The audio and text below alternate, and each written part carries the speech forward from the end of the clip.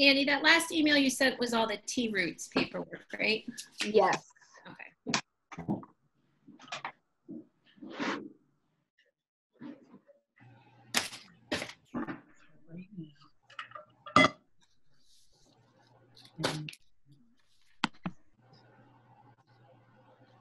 I like it better when you organize our paperwork for us in person. I know, me too. I feel, I also feel unorganized. I bet. Four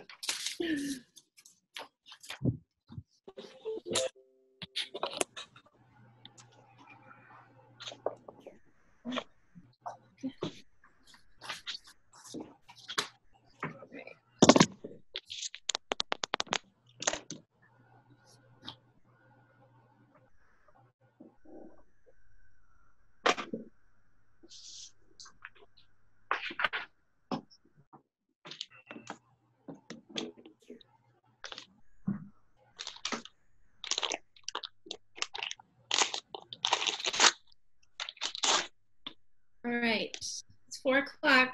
Are we ready? We're ready. Yeah. Um, thank you for coming, everybody. We're going to call this meeting to order. Um, my name is Natasha Yakovlev, also present this afternoon, Brian Campidelli and Helen Kahn. This meeting is a Zoom recording. Uh, is there anybody here for public comment this afternoon? Seeing any public comment, we will move on to item number three, public hearing on an application for new seasonal wine and malt restaurant license and application for common victualler license. T Roots Incorporated, DBA T Roots, 249 Main Street, Northampton. Proposed manager, Wee Lon and Nicole Sau. Are those two people or is that one person? Uh, one. Hi, how are you? Good, thank you. Good, thank you for coming.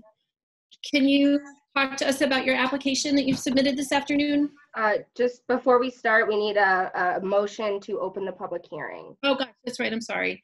Um, I'll make, uh, make a motion to open the public hearing. Second. All in favor?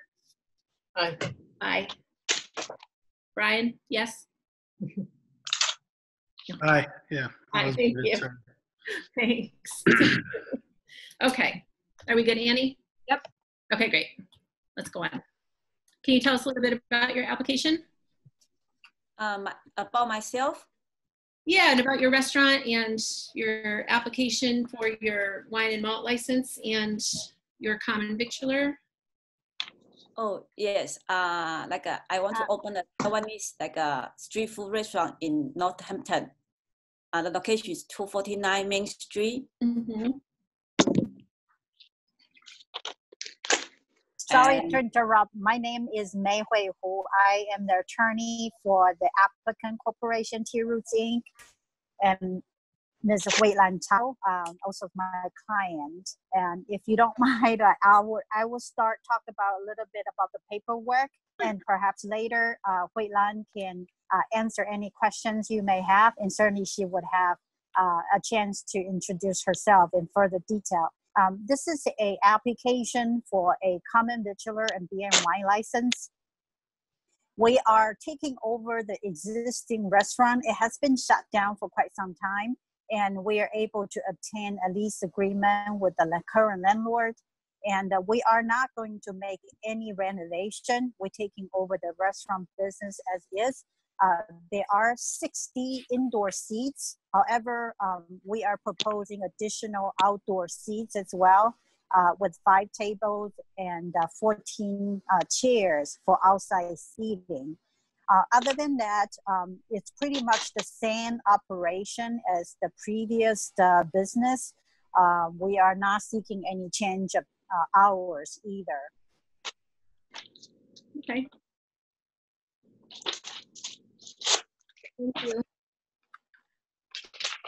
Just to orient me, is this, is this the, Green- which restaurant is this that is being taken over? Fresh pasta. Okay, Fresh Pasta, that's okay. Thank you. Annie, do you have something to um, contribute about the outdoor space? Yeah, um, so back in 2011, uh, Fresh Pasta petitioned the city to use the out, uh, the space right outside the building in the back um, for outdoor seating. It is city-owned property. It's the city parking lot. Um, so at that time, uh, city officials gave permission to use the area under the condition that um, the license holder only utilize the space between the months of May through October. Um, and then once the end of October comes, all materials used to cordon off the area, including tables and chairs, must be removed for the fall and the winter. Um, so I've re- reached out to the building department, fire department, and central services, and they are, all three departments um, are okay with T Roots continuing to utilize that space as long as they follow the, the conditions. So they can't, they- can't exceed the footprint as it is now, so it can't be any bigger. Um, they are required to secure the materials used to cordon off the area um, and to protect diners from traffic. And again, all materials have to be removed um, starting November 1st through the end of April. So as long as they're, we're all in agree, they're all in agreement to follow those conditions, then um, the city's okay with letting them use that space again. Need to do any extension of that, or since it's already established for the previous restaurant, they will. I'm sorry, I didn't hear. Do they need to do any sort of extension of premise for that, for the wine and malt? Well, since, since, um, it's, It's I mean, it's kind of an extension with the new license, because since it's a new license, we're just applying for it up front with, for the outdoor space. okay, that makes sense. Helen or Brian have questions or comments? No. Uh, no, I do not. No.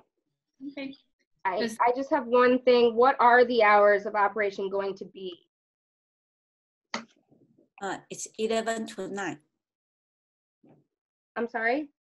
11 to 9. 11 to 9, to 9 p.m. um, is that seven days a week? No, we close Tuesday. So six days a week. Yes. Okay. and what type of food do we have to look forward to coming Uh, it's Taiwanese food, Oh, great, like street food. Yeah. Great. Nice. we look forward to it. Thank you. Um, I guess without any other questions or comments from the commissioners? Cl- Uh, we just need to close the hearing. Okay, I make a motion to close the hearing. Second. All in favor? Aye. And now I can make a motion to approve the application, Annie? Yep. Okay, Uh, just- Can you just include the conditions in the motion? uh, outdoor conditions? Yeah. Sure. Um, I'll make a motion to approve the application for the new seasonal wine and malt restaurant license and application for common victualler license for T Roots Incorporated DBA T Roots at 249 Main Street, Northampton, with the conditions that the outdoor space behind the restaurant be, um, have barriers to protect from traffic and have cordoning to keep wine and malts on premise. And do we need to say which months it's closed and closed?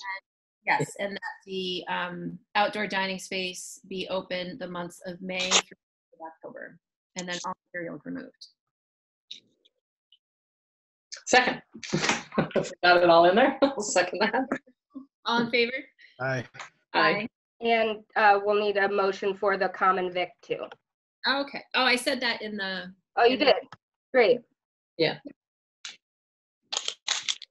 All right, wonderful. Thank you so much.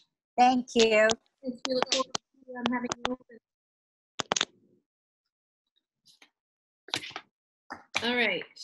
Item number four, discussion of business operation with Highbrow Incorporated. And just for the record, Andrew, can you introduce yourself, please? Hey guys, how's it going? Andrew Brow from Highbrow. Great. Thank you so much for coming. Thank you. As you know, we asked you to to talk about the cordial license that we um, issued back in.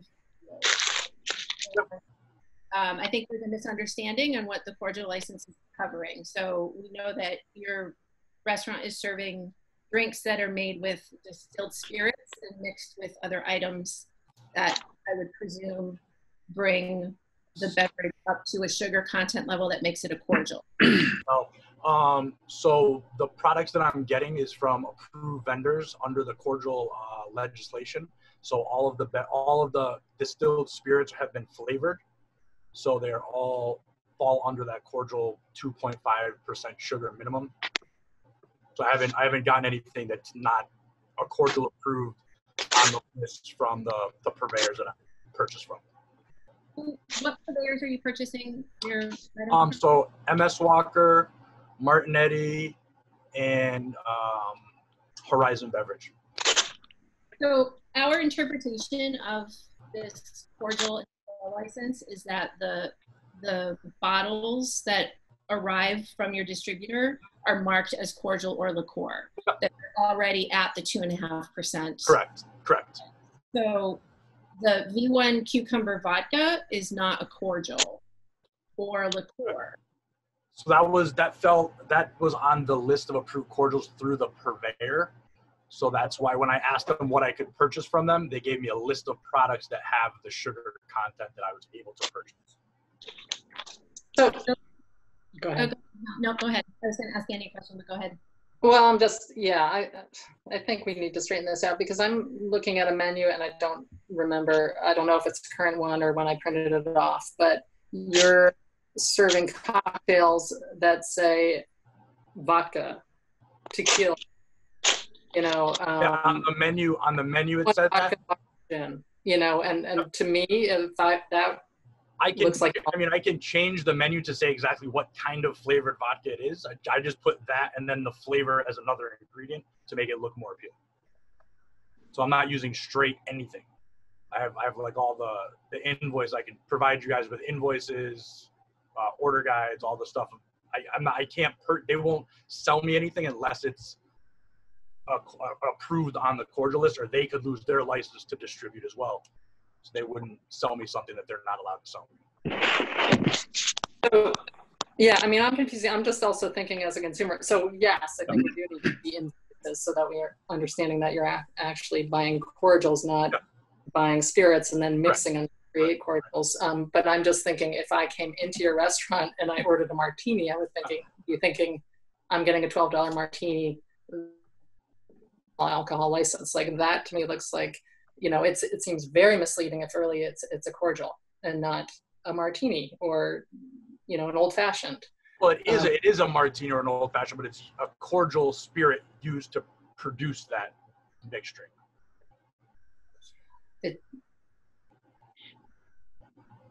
I yeah I I don't know. I'm I'm just thinking when you applied for this license, you know, I look back at the minutes and you said you were going to make some after dinner drinks. You know, and And Like, was these do not say cordial to me, and maybe it's a misunderstanding of what a cordial is on my part. But but these look like straight up alcohol cocktails that, and in terms of you know, and you have a wine and malt license and a cordial license versus an all alcohol license, and we need to look at the reality of people are paying thousands of dollars for alcohol license. And you're getting this with a wine and malt license, and I think we need to be very careful about what it is you're actually allowed to serve and I don't know if this is something that we need to re-examine or we need to examine with an expert from ABCC or sort of who comes in Yeah. to make sure that this really is cordial and that you're advertising it as such. So I don't think that I'm getting the same thing that I could at a restaurant with an alcohol license that I'm getting at your place. Because otherwise, competition-wise, I mean, it's it's there's no fairness at all, and I feel like we'd be going down a slippery slope. So that's my input. Um, Brian, do you have a comment? This sounds like you're going to uh, define the um, cordial um, definition a little better. Um, you know, I know there are some all alcohol licenses that are available. So um, if you're up for that and um, you want to make the investment, you know, that's always your choice. But uh, um, I think once the commission takes a look at that a little deeper and, and does a little research, we might uh, be back in touch for sure. Okay. Yeah, I mean, I think, I think we're at a, a disagreement here in that, um, Let me have a, a question. Um, Andrew, you have in, invoices? They actually say cordials on and so on and so forth? I mean, it says the product. The product is part of a cordial approved list from the the state or the, the company. And have you forwarded that uh, list to the commission? I can do that. I can do that right away. Yeah. Yeah, anything that you can actually help, you know, uh, or send to us would definitely benefit you. Okay. Um, and then I'm sure there'll be a decision that's made, you know, down the line or, or maybe even today. But. I would say um, if you've been serving those kinds of drinks and you're you think you're under the the right of the law, then Yeah. you know you need to just go ahead and forward all of your information that you can to help with that. Okay. Absolutely. Um, we have someone who has something to say. And hi, Amy. Hi, so I'm, um, this is not why I'm here today, but I happen to have a lot of experience with cordial license when I worked in Boston. I worked for Myers and Chang, which had a cordial license as well. Um, there's a very distinct difference between a cordial license and a liquor license, and it has a very distinct difference in competition. Um, Andrew would not be able to sell like a Jack and Coke. Like Right. that's just not something you'd you'd ever be able to have at Highbrow Yep, yep. um, the ABCC, sorry, am I saying that right? Yeah. Um, actually doesn't have, unfortunately, doesn't have a very clear definition of what a cordial license is. It is literally any alcohol that is distilled with um, other uh, flavors to, as Andrew said, to have the right amount of um, percentage to it. So I, I just want to just since I'm here and since I happen to have this knowledge, I'm just in to, to and and I, and I do, you know, I, I know, I'm sorry. I am. I'm a competitive business. It- it- It's not necessarily helping me by by standing up for Andrew, but I'm just I'm letting you know that like for for everything that I know and for how he's writing his menu and like what he's getting and whatever else, it would be really weird for me to find out that this wasn't all above board. So I'm just throwing Right. it out.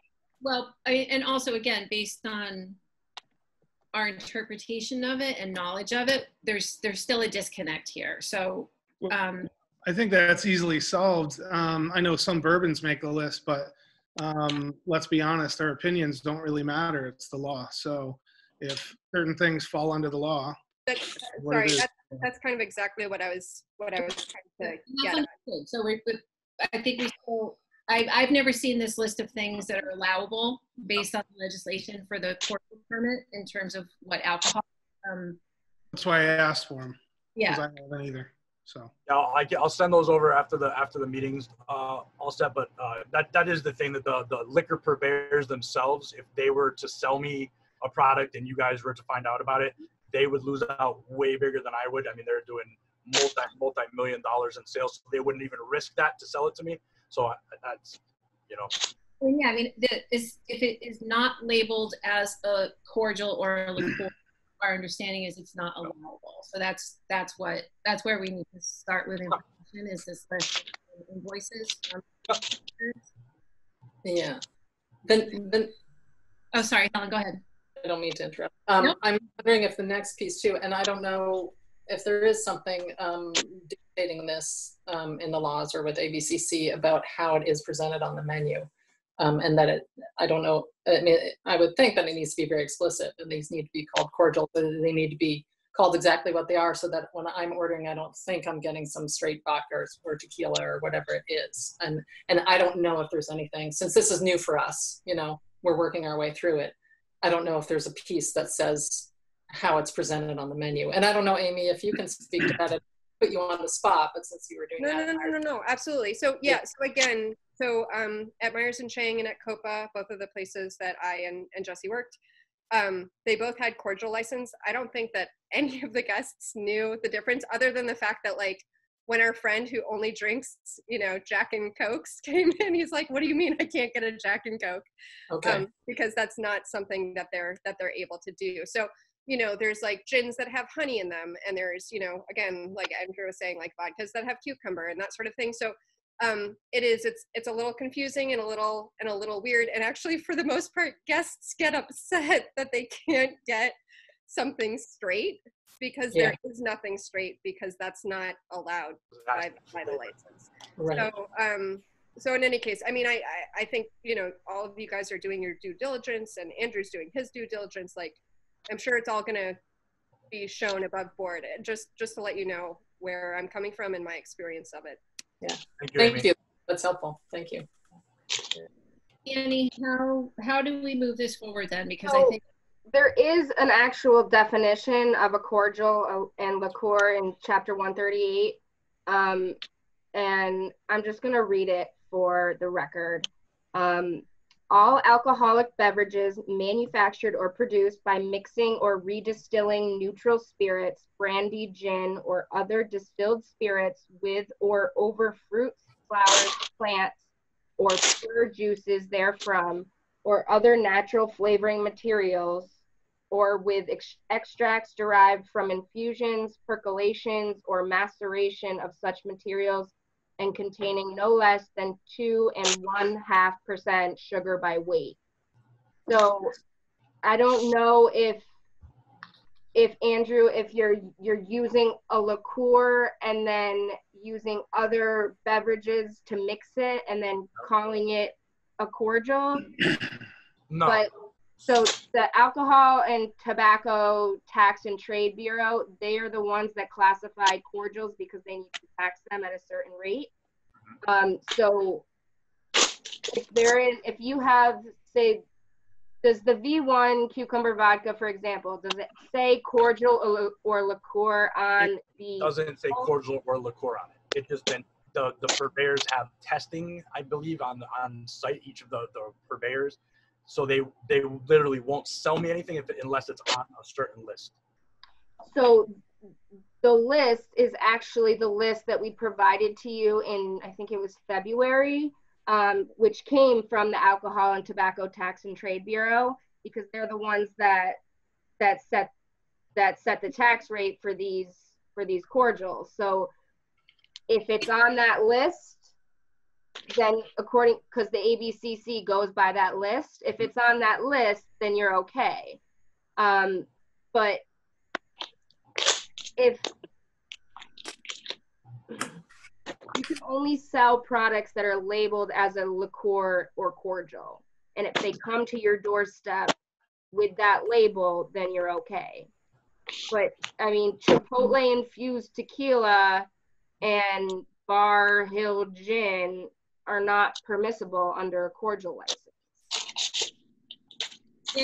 Can I just reference the document you're talking about that we provided in February is the chapter four class and designation document?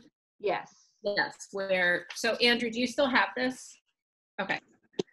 Um, can you email it to Andrew Yes. so that he can reference it? So pages 4.8 through 410 specifically outline what is allowable as a liqueur or a cordial.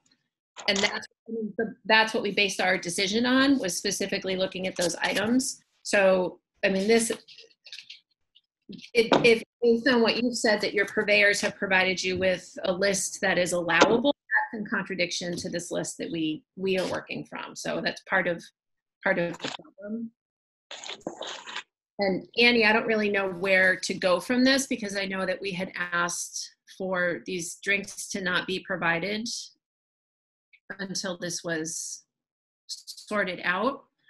Um, and I don't feel like we're going to sort it out at this meeting without seeing further documentation. Yeah. Um, I guess there's, I guess there's just a little disagreement with how the commission views it and how Andrew views it. Um, I would say documentation, all receipts, itemized invoices, all of that should probably be sent to the commission for Um, review. I'm also going to reach out to the purveyors and see where this list of approved 2.5% sugar spirits uh, came from, uh, because they they honestly wouldn't sell it to me if their license was in jeopardy. Um, so I'm going to get that. I'll, I'll talk to them as well and see, because they sell to all these restaurants like Amy said in Boston and all that. So I guess I'll see what their list, where they got their list from, what ABC or, or whatever as well. And what, Amy, what time frame do we need to have for this? Uh, that's up to you guys. Um, What was, I couldn't understand the question. What did, what did you ask, Natasha? I was just asking what time frame we want to Okay. have information in, because our next meeting isn't until, we haven't discussed, I think, our next meeting. Right. I mean, I would say we need to know sooner rather than later. I mean, we need perhaps an interim meeting just because if there's a misunderstanding and you're serving spirits that aren't considered um, cordials, then you're it's like you're serving alcohol without a license, and we can't really have that happen. Yeah. You know.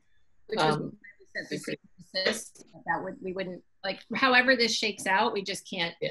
it has to be on the up and we can't have, um, the cordial license if that's what's happening. So, have you considered buying an all alcohol license? I did in the beginning, but the one that was available was like $150,000, and I just didn't have that kind of money. Um, I mean, with the current situation right now, I don't think I'd be in a position to to entertain that at all. Yeah. And I guess that's my point too. I want to be very careful that we're that someone with a hundred and fifty thousand dollar license that you're not serving similar items. You know, Well, the And I items aren't even shaking your head and saying no. in flavored, terms- flavored alcohol. So, Yeah, but- or but that you can serve a twelve dollar cocktail with the wine and malt license instead of a tens of thousands of dollar license. So, um, So for Helen and Brian, we had sent the cease and desist last week. Do we want that to stand until we have this sorted out? And ask for this information by this day next week? I mean, in my opinion, if those truly somehow fall under uh, the okay list, I understand ABCC, but you know what? Um, things are overthrown all the time by attorneys and so on and so forth, just because they have a clear, you know, they have their opinion and so on and so forth. My point is, if Andrew gets the information that Annie wants to look over, you know, say within the next 24 hours, and we can all look at it before Friday, you know, because I would hate for a business, because I'll say it again, I'm pro business. I would hate for him to lose revenue that he has every right to do and earn over the weekend, which is his, probably his busiest time. So I wouldn't want to impede that. So if he is in the right, then let's figure it out um, as quick as we can. So that's you. my opinion. That's where I'm at. and is that realistic for you, Andrew? To, I mean, I guess how soon could you get that information together? I'll start gathering it right away. Yeah. Can I just can I ask a question? So, Andrew, the so say the cucumber vodka for for one, it's infused with a flavor, but is Yeah. it over two and a half percent sugar by weight? Correct. Correct. And they, they won't sell me anything that's less than that because they can be in jeopardy of standing in front of the ABCC directors like I'm sitting in front of you guys, and they could get their liquor license, their their license to distribute liquor pulled. So they wouldn't sell me any. They won't sell me anything besides that. My list that I'm able to get is very limited. It's only a handful of different flavored whiskeys and vodkas and things like that. So I, don't have like a giant back bar. I have like 10 bottles that I use, 10 different things, you know? So it's not, I, it's not like a full bar. It's like a flavored whiskey, couple flavored vodkas, the one flavored tequila, the flavored gin, and Aperol, you know? It's not like I'm serving like a whole open bar. So, So- then it So that's all, it's all, and all Yeah. the, everything in that list that I'm able to buy has 2.5% minimum, if not more. Okay.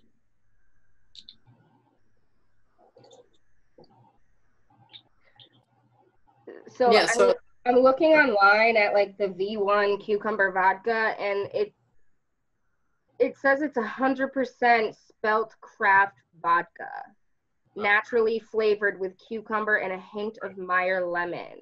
Yep. So, I mean, to me, that's vodka. But it's flavored vodka. It's got a flavoring with the But sugar. it's but is it two and a half percent? You got to, I mean, it would have to be, or the liquor purveyor wouldn't sell it to me. I don't I don't know if we can we can go off just because th- I don't know. well, that's why I'm saying that we should try and do the research before this Friday, if at all possible. I mean, the bottom line is my, my wife's a chemist and she used to teach truth in advertising about food and so on and so forth and reading the labels and you'd be shocked at what's actually in some of these things and they don't necessarily call it what the layman um, person can understand Right. you know so it has many different names and so on and so forth and i don't know that alcohol is actually uh, required to do the same It's a cordial. but if you could actually get a hold of paul um, is it paul Yep. You want- Yep. i'm sure he would give you you know whatever you needed so because i mean it's his in, in his best interest as well i mean so that's all we're looking for is just you know no Yeah, and I'm not trying to hide anything or I'm sure- sweep under the rug, you know. i'm sure the commission holds a little bit of liability as well we have to follow the law yeah, of course. So, and we have to hold you guys accountable. So, I mean, if Yep. everybody can work within that, Mhm. you know, that's all we're saying. So Yep. we can get your stuff quickly and we can do our research. In my opinion, I don't know how you guys feel about it, but you know, I, I don't think that's unreasonable. Natasha, what do you think? If we have information within 24 hours, it's not unreasonable, but that's going to require us as a commission to have another discussion within 24 hours. So Right. are you available tomorrow then to do that? Yeah. Okay. Helen, are you available? It's um, maybe later in the day. I don't know if I can make four, but we can talk about it. Okay. it's like, it has to be five or something like that. Yeah. Uh, Andrew, if you had to not serve any of those drinks over the weekend, do you have other drinks you can serve? I mean, I have beer and wine. I would, I would take a slight hit in business for sure, but I mean, I have beer and wine. Yep. All right. So, um, well, just a few things, but one, we can't have a meeting tomorrow. Um, it's not 48 hour notice. Um, so we couldn't do that. Um, but the, excuse me, the other thing is, um, we got an, an interpretation from Attorney Seawald um, uh, about his um, understanding of cordials. Um, so he mentions that the beverage must arrive at the licensed premise having already been mixed or redistilled so as to contain no less than 2.5% sugar by weight. Any other alcoholic beverage, including those infused with flavors that is not over 2.5 sugar by weight, cannot be served under the license even if mixed with a cordial liqueur. Cordials and liqueur are labeled and taxed as such through the Alcohol and Tobacco Tax and Trade Bureau. Therefore, a cordials liqueur licensee can sell only products that are labeled as cordial or liqueur. Applying this to the advertisement published by Mr. Brow, it is clear that Chipotle infused tequila, V1 cucumber vodka, and Barr Hill gin are not permissible under a cordial liqueur license. So that's his understanding and interpretation.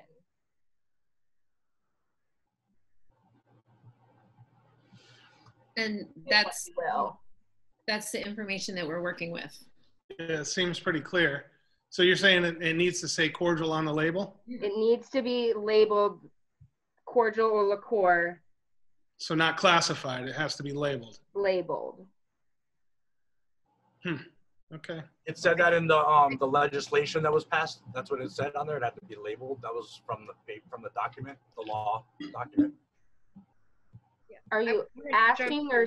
Yeah, no, I'm asking the question because I didn't remember. Um, seeing- I never saw that when you guys passed it, and it was like chapter L, whatever it was. I didn't see anything about the labeling saying cordial or liqueur in it. Yeah, um. Ju- Just to quick. jump in, I, I know for a fact, so Myers and Chang and Coppa, who, that both of them have been in business for over 10 years. Both of them only ever had cordial licenses.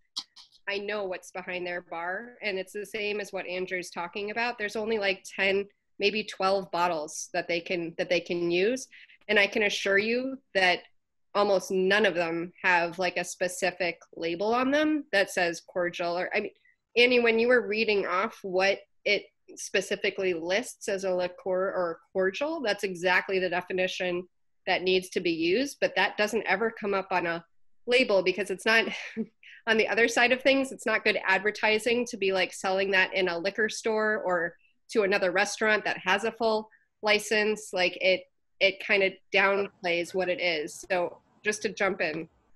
And I thank you, Amy, because I think uh, your experience is really valuable. And I'm, I pulled up Myers and Chang's men, menu, and they are they do just talk about gin and tequila. you know, and it, and I'm sure they still have just the cordial license. And so they are advertising it the same way, just, you know, not calling it a cordial and just saying that they're adding tequila and gin. But it's, so, I mean, I, I'm taking this as an education for myself about this because we, as I say, I think this is our first cordial license, right? That we put out there. And so I think there was, we needed this clarification um, and understanding of what exactly um, makes a cordial. And I, you know, I am learning now, hearing through from Amy and through from Andrew about um, these definitions. And I think it's just different than what we we thought. I mean, we thought he'd be making Irish coffees and things like that. But you know, obviously, this is this is a broader definition than than I was familiar with. So. Annie, uh, excuse me, Annie, on on the ABCC's um, definition, it just basically says the 2.5% by weight or more, or does it also say label? It does not say label. All right, so I mean, an interpretation of the law and the law are two different things. So I don't know. Um, if those things are, if you can get, here's here's my opinion, and I'm just going to throw it out there. Andrew, if you can get that stuff to us in 24 hours and we can review it separately, do we need a meeting that if it actually hits the law, the ABCC, No. and not Attorney Seawald's opinion, or or um, how did you put it? Uh, the way he put it out there, I would say you got to go with what the ABCC and the state law says. So, and if those qualify, to me, uh, they're the ones in charge. They wrote the law, and um, you know, Amy, you you gave you gave great points as well. But I th- I just think it requires a little uh, uh, research, and I think it's uh, our obligation and uh, to do our due diligence and figure it out so that we're not hindering any business. Thank you. Can we do this? If Andrew gets the paperwork to you tomorrow, you review it, compare it Who, who, who am I emailing this to? Annie? Yep, to Annie. Okay. Um, you review it, compare it with everything else. If you find that there is a discrepancy that merits the cease and desist until further conversation, then you can let Andrew know that. And if it doesn't require that, then you can let Andrew know that as well and we move forward. Is it, does that make sense? 100%. Yeah. Where, Yeah. where do I stand as of now? Do I need not serve anything or? I, I mean, on it's only because it's out of fairness to other restaurants and just as a matter of like figuring this out. If you give us until tomorrow and and carry that cease and desist tonight for your operating hours, I mean, I just think that's fair. But it's up, you know, I, I, my other commissioners can weigh in on how they feel about that. Um, I guess my opinion is, did we jump the gun by sending a cease and desist if we didn't know all the facts? Well, I think that's a moot point because I don't know if a cease and desist happened. So it's It does. you- It's not a. It's not a moot point because the cease and desist holds water. It holds weight. So whether or not he stopped or not is not. Again, it's not our opinion. He's if he chooses if it is the law and he breaks the law, that's on him. He owns that 100 percent. We sent the cease, uh, cease and desist. Were we 100 percent in understanding the law and sending that? That's all I'm. I mean, as a business owner, I would question the same thing. Well, so for me, I, I didn't, I, I was selling the drinks because I thought what you were saying was I was buying like pure distilled vodka at provisions and mixing stuff in and making my own stuff. So I, I, which I wasn't, and I have not done. So I thought that somebody reported that I was using unapproved products on that end. well, I here's didn't the think that my point. products. Andrew, sorry to interrupt you, but here's the point. I'm going to say it again. The law is the law. Yep. You own 100% of the liability on this. Yeah. Yep. So you choose. We sent you a cease and desist, right or wrong. So, you know what I mean? Yeah. If it Yeah. turns out we're right, I would I would suppose, you know, that's on you. You need to figure out that liability. So, Okay. um, you know, uh, Natasha, you know, and Helen weigh in, but you tell me, what do you think? You you want to uh, hold strong on it and and go with it, or leave it up to that uh, the opinion of Andrew, or you know, I mean, we're only talking about 24 hours too. So, I would rather see you lose one day in sales than And potentially if I'm wrong, and yeah, yeah, yeah, well potentially lose your license. yeah, yeah, yeah, right. You know right, what. I'm saying? So, you know, you got to make the right choice, my friend. So, All right. it's up to you. You. Appreciate it. Yeah. Well, is that okay with Natasha and Helen? I am confused about where you were just leaving that, Brian. Um, but you're saying that So in other words, we, Right. we sent, as a commission, we sent a cease and desist. Right. I'm not convinced that we're 100% right because I'm not convinced. That's why we're asking for this paperwork to do this research. So it's like putting the cart before the horse, in my opinion. But if we are right, great. I mean, we did the right thing. Um, Well, we can't have it both ways. I mean, we sent the cease and desist to gather the information and have this conversation. So that's fine then. Then hold on the cease and desist for a night, and then within the 24 hours, like you said, we we get the information, and you know if it's 48, it is what it is. But hopefully you're back up and doing your thing for the weekend. And if we find out differ, then you know you got to look about maybe investing in a, a full spirit license. Helen, are you? I don't want to complicate things. I, I have to say I'm leaning, surprisingly, since I've learned a lot during this discussion, I'm leaning in the direction of saying that without a cease and desist, to let him continue serving. And as Brian's pointing out, if he, we find out he's breaking the law, then he's in deeper water, but give us, you know, within 24 hours, getting that information. And um, I'm hoping that it says that we've all been educated and that everything's been fine, you know, but so, so I guess I'm leaning towards saying allow him to continue to serve, but you know, get that information within 24 hours. Okay. Annie, does, does this um, process work then? If he gets you the paperwork by tomorrow and you can do a review? Yeah, I, I'll review it and I'll send it to all three of you so you can take a look. Okay. So, um, we'll need receipts, any, any documentation that you have, including if you can get it, the list of cordials. from the distributors. Yeah, Okay. Yep. Yep. Yep. I can do that. And City Hall shut down, so email you all this stuff. yeah, you can just email it to me. So, um, when you got the cordial license in February, so it'll need to go back from February until now. Here needs to be all my invoices for that far back. Yep. All right, it's gonna I, that's gonna be a lot of scanning and stuff. I got a lot of stuff, so um, I'll send you as much as I can possibly get at that point. Um, but it's a that's gonna be a lot of paperwork, but that's fine. All right. Thank you, Andrew. Are we, are we closing this conversation then for that agenda item? Yes, I think so.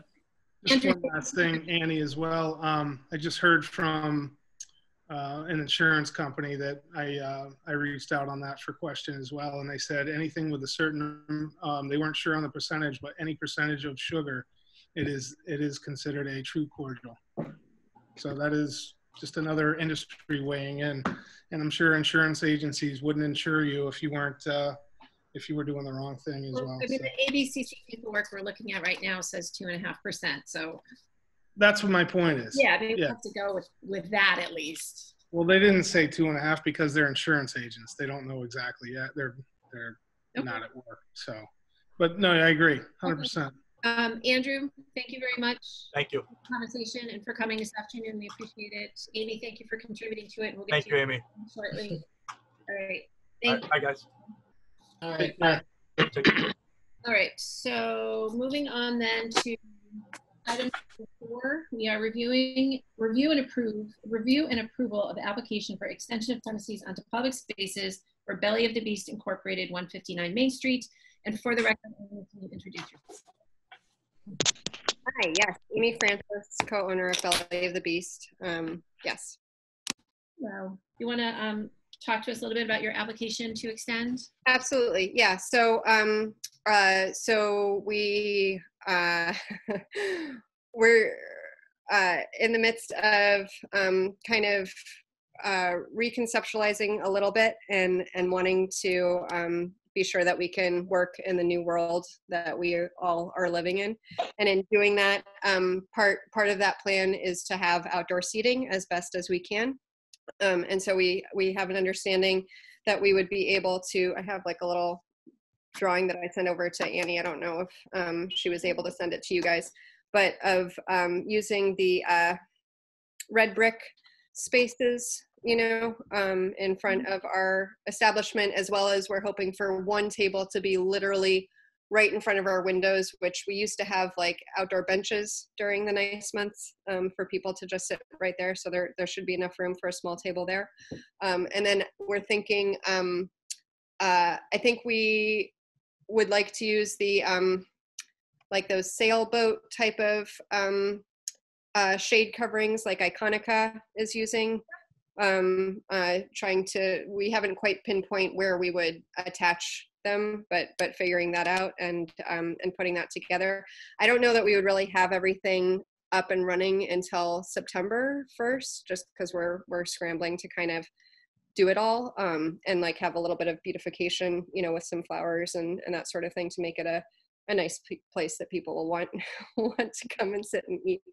Um, uh, so uh, we're we're just trying to to kind of we were trying to like hustle and scramble just to make this meeting so that we can move forward in um, in putting this together for the fall.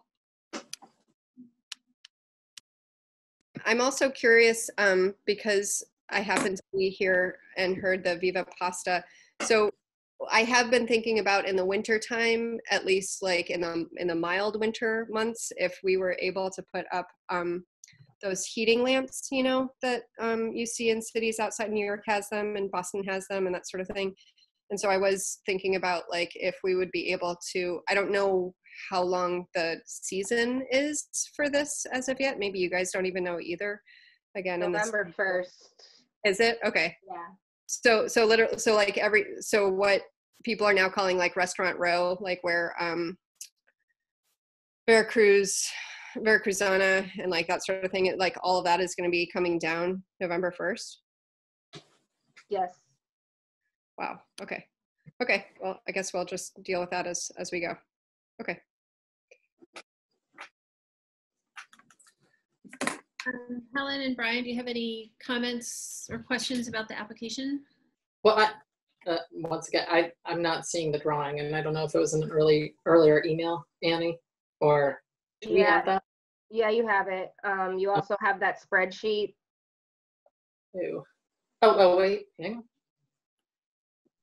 I can send it to you again. Oh, there it is right there. Sorry about that. Okay, got it. Um, Do you need the application again? I can, I can send. no, it. I, I, found- I found it. I'm looking at it now. Okay. Um, So, um, Amy, you are, you've got the newspaper boxes outside your space. Yes. So we're, we're hoping that those can be moved. There's plenty, if I can see it from my window, there's plenty of room on the other side of the um, crosswalk to move them to the other side of like TD Bank. And then same with like the trash and recycling. Um, they can just be moved to the other side of the um, uh, that stanchion that's used for parking, you know, the parking meter thing. So Um, Trash and recycling, I think, are bolted into the sidewalk. Is that correct? Yeah, they're bolted down and on concrete pads, um, so we can't move those. Um, the newspaper boxes, moving those is easy, um, since they're not bolted down, um, but there would be some restrictions. You'd have to move them the shortest distance possible. Um, you would have to move them and you'd have to notify the newspaper box vendors. I'm happy to do both of those things, and and it would be the shortest distance possible. It's literally just on the other side of the the, the crosswalk, and then I guess I'll relook at our plans for where the trash and recycling are because we're obviously not going to have tables there. Yeah, yeah. Um, I don't know. I don't know if there's. Oh, go ahead. no, no, no, go ahead. I just don't know if there's going to be uh, kind of like what they've done at Veracruzana, and you know, I don't know if there's going to be any room for us to take over parking. So Uh, yes, there will be, um, which is, that's kind of the bi- bigger issue, um, because, um, things might w- go differently for you and you might have a difference, uh, you ha- might have more space to work with in the street, um, once the plan is implemented. So, I mean, you said you wouldn't be going until September first and the, the street project is gonna happen before then. Um, so I don't, I, I don't know if you still want to go with this plan or if it's something you want to hold off on until you, until the city makes a formal announcement, which should be soon. So, so I guess I guess my conundrum is that I need to come before you all and get your approval, which I so appreciate your time and and and hustle and everything that you're doing for all of the city right now. Um, I don't know that I can come before you all again before September 1st, though. Isn't the next meeting for this like sometime mid September? Yes, except for once the street gets reconfigured, we'll probably have multiple applications. So we'll probably have to have a meeting in between now and the September meeting to hear all those applications for people that do want to go in the street.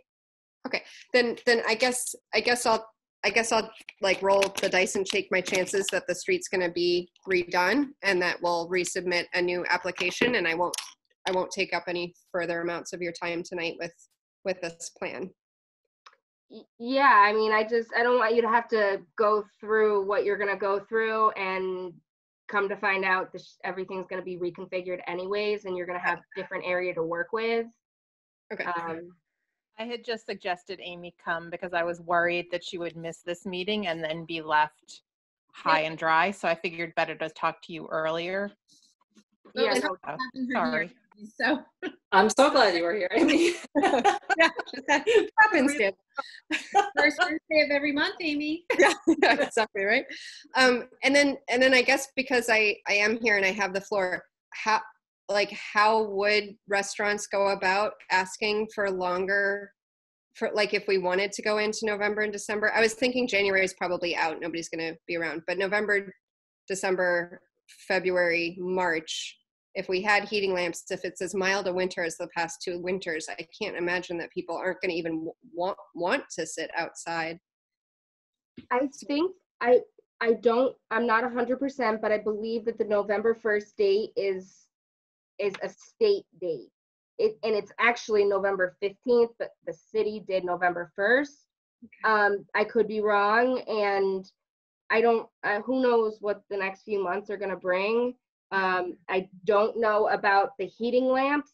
I would say the fire department has to be contacted about those, maybe building, um, but I don't know. Everything's so up in the air. Okay. I don't I don't want to be in your hair more, but anything no, anything you're fine. anything anything that like you guys can point, you know, like if if it takes like me like rounding up the other restaurants and like bringing you guys a proposal or like something that we can do for Northampton or not. I understand that it's a state thing. Just I'll anything. be that- in her hair if if if it's possible for you to go later than November first. yeah. But it is a state thing tied to the um, ABCC too, for the li- licenses. Well, I mean, even if we're not allowed to serve alcohol out outdoors, even if we're just allowed to serve food, like that's going to be beneficial for every single restaurant in Northampton to be able to do if if we're able to find some sort of way to like have people feel cozy.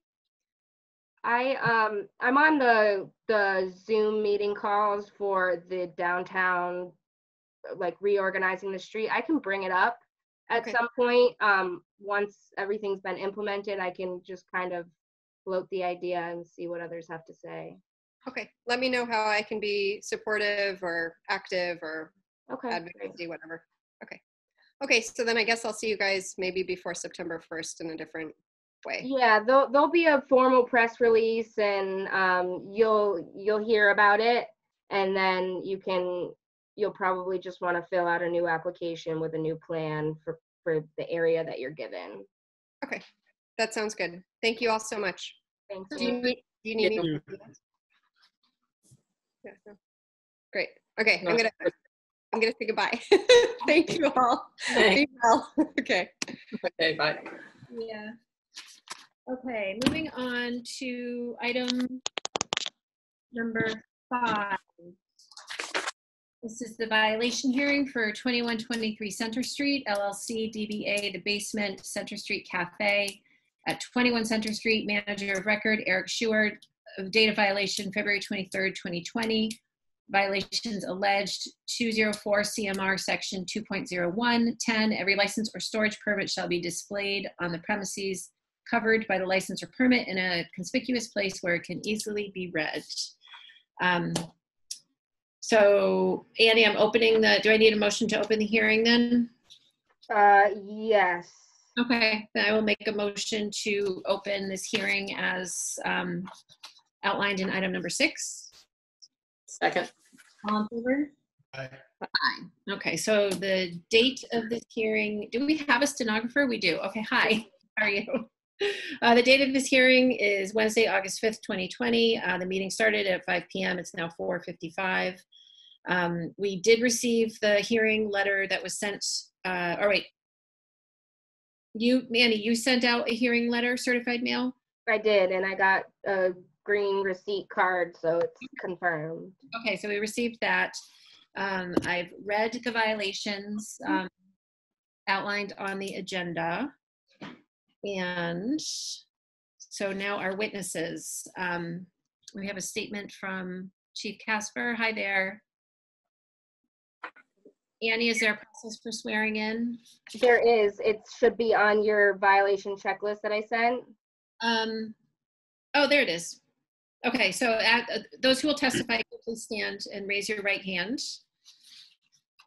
Do you swear to affirm that the information you are about to give is true and correct to the best of your knowledge? I do. Thank you. All right, so your statement, please. Sure, this is very brief. Uh, On February 23rd, 2020, at about 1:09 in the morning, officers Ross and Cook went into the basement just on a liquor establishment check.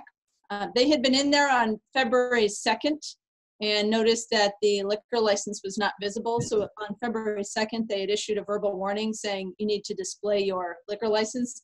So when they went back in on February 23rd, they observed that the liquor license was still not uh, posted. They spoke with the manager, Nan Bui, B-U-I, uh, and asked him to produce the liquor license. And the manager reached onto a shelf located behind the bar and pulled out a manila folder, manila colored folder, and then displayed the license.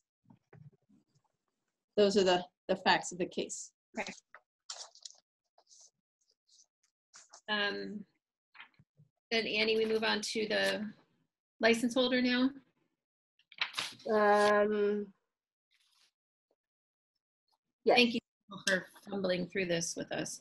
Um, Okay, is Eric on the call at the moment? Yes, I am. Okay, Hi, Eric. Uh, Um, Can you raise your right hand, please? yes, You swear or affirm that the information you're about to give is true and correct to the best of your knowledge? yes, I do. Great, thank you. And uh, do you have a statement? Um, no, I'm not going to refute uh, what was discussed uh, by the chief. Um, I was present that evening um, after the officers had left. The license was in a folder. It was produced to me by the bartender. The license had previously been hung on the back bar, um, as it has been for, I think we've had the basement going into 16 or 17 years. And my understanding from what I was told was that it was removed and placed back in the folder for cleaning. But I was not aware that that license was not hung on the 2nd of February. So uh, the only thing I can tell you is that we're license holders at five other establishments and that we've always prominently um, displayed all of our licenses, uh, including at the basement. And so, um, you know, again, I'm not gonna, I'm not gonna dispute anything that was discussed. I did have a conversation with the bartenders that if anything had fallen or was moved for cleaning purposes or any other purposes, that they have to be prominently displayed. I believe everybody's on that, you know, under, understanding of that at this point. And I was a little surprised that, that I'm hearing this, that, because I was not aware of the verbal warning and I was also present, you know, during the, that night in February, but obviously not when the, uh, not when the officers had come in and given a verbal warning. Okay, thank you. Um, I make a motion to close the hearing. Second. All in favor? Aye. Okay, so uh, commission discussion. Any comment from Helen or Brian? I mean, it seems, Go Go ahead. Go ahead. just it seems pretty straightforward. Go ahead, Brian. I'll- I'll let you- Um, uh, You're still on the record. Yes, thank you. Yeah, so um, not really a discussion, just more like a question. Is it hung now? Do we have proof of it? Well, that- yeah, the the establishment's been closed and we've, we've actually taken everything down from the back of the bar, done a ton of cleaning, so um, I, I should be able to answer that. It was hung literally the next day um, after I was aware that, um, that there was a violation uh, because the bartender had explained to me that they had come in. Um, So I'm not at the establishment now, but um, we had, uh, I think there was one, two, three, four different licenses that were, um, that were put up in the back bar the very next day. So uh, But to answer your question, Brian, right now is we've, you know, we've pulled out coolers, we've pulled out, I mean, just about everything that we can has been cleaned out of there and uh, moved around. So, but yes, they were prominently displayed on, I believe by that Monday. So I think the violation occurred, it was actually our Saturday night of business had occurred prior to closing. Um, And that's why uh, the chief had mentioned it was on the 23rd, which I think was after 1 AM on that, that Sunday morning, but it was our Saturday night of business. And by Monday, um, after I was notified of that, that evening or Sun- Sunday morning, and on Monday, they were, they were all there. They were all behind the bar. They weren't, they- as should be, they weren't prominently hung and visible to someone that walked up to the bar. All right, do you plan on reopening? Uh, yes, we do. Um, but the issue right now is just, we don't serve, uh, you know, there's no service of food in that establishment, similar to the Iron Horse, Pearl Street and the Calvin. And so unfortunately, we're at the mercy, it looks like, of a vaccine and, you know, with live entertainment. And the basement is a dance and a small venue for dance and live entertainment. And it, unfortunately, it looks like it could be well over a year before we're able to open again. So it's pretty much mothballed until such time as we're able to do so. Any problem with sending a photo to Annie via email that shows the license being hung? Um, yep, I have no issue, but it, I'm not in, I'm in the Holyoke office now, so I can't. No, I don't mean right now. I'm just Yeah. saying that, you know, versus trying to send a police officer out and meet somebody, as long as that's okay with the rest of the commission. Yep. That's just um, one thing that I, I would suggest. Yep. I agree. Um, Helen, do you have anything? I'm sorry that, you know, we've taken this kind of time. I know Annie's office has had to send out multiple letters and, uh, and with all the cancellations and, you know, for such a, you know, I'm- don't want to diminish this, but in comparison to other things, it's a, it's a, you know, a minor violation to take up so much time in terms of the commission and Annie's office. So I apologize for that. We've been a license holder in pretty good standing for many, many years. So I'm more embarrassed by it than anything. Yeah, I guess my only question is, do you know, so you're saying that, it sounds like they came in February 2nd and then came back to check on February 20th. So I'm assuming that it hadn't been hung at all during that time. Is that your, Oh, I guess uh, there was no, so I was not aware, and I'm present every night we're open. I was not aware that there was a verbal warning given on February 2nd. Um, So that's something that I will look into from the bartender, but that I was very much aware of the February or evening of business on the 22nd, that Saturday. I was aware of, of that um, situation um, that happened that early Sunday morning. okay. So, but in all likelihood, it hadn't been uh, displayed for that month, for most of the month of February at least? I don't believe that, I don't believe that's the case, but I, I- you know, because our license, I mean, I'm, I'm there and I'm- the licenses have been visible to me. But there was some work that had been done during the course of that month, so I can't honestly tell you if they were hung for a period of a week, two weeks, and then taken down again. There was work that was done behind the bar, there was work that was done on the beer coolers. And, you know, so sometimes just based on the very limited nature of space, it's a very small bar establishment and there's very limited space behind that bar. So when they do work, they'll oftentimes take down and remove, including our credit card machine and different things, they'll remove things from the back bar. So I can't honestly answer that. I wouldn't want to give you the wrong information. I don't know the answer to that. I do know that I'd been there, you know, we're only open three to four nights a week at that establishment and I've been there on all the nights we were open. And if those licenses weren't visible, then it probably would have been pretty noticeable to me. But I can't answer that in good faith and give you an honest answer with, without knowing that they were physically hung there. Okay, I see in a lot of places, they actually put them in an eight by 10 and they physically screw it to the wall. So we've purchased, um, we've actually purchased a larger glass case that, you know, and then, um, the COVID happened and we were shut down, but we're actually, Brian, and several of the establishments, gonna put everything behind one glass case that's easily pinned up. Um, we previously had them behind frames. They were eight by 10 frames in most of the establishments. In fact, they still are in the establishments, um, with the exception of Pearl Street, which is kept in the box office. um, because we were years and years ago because kids were smashing the glass that were where it was. It was at the ground level, not behind the bars, because there's multiple bars there. And um, one of the building inspectors years and years ago, I think it was um, Anthony Patillo, had asked that we have it um, at the ground level, which is when they come in, as opposed to behind the bars. At least that's what he had requested for his um, for the the the actual uh, permit for attendees. And so um, that's the only establishment where we had, and everything else is behind the bar, and they're all typically done behind, uh, you know, eight by ten frames. Great. Um, Chief Kasper, do you have any, any suggestions? Are you for sanction or anything, or anything else to say? No, I think as long as the, the license is posted, we'll be fine. Thank you. Sure thing. Um, so commissioners vote now, Annie, on, on, I mean, I'm, I'm, it's, it's, I trust it's gonna be hung, if not already. and I think you just make a motion on him having a picture emailed over. So right? you need to have a motion on whether or not a violation actually happened. And then you need to have a motion on whether or not the, well, if there's a sanction, you'll need to have a- motion for that. I also have one thing I just want to say. Eric, you said you don't serve food? At the basement, is not, no, there's no, there's not a restaurant there. So you have a common vic license? Yes, we do. Mhm.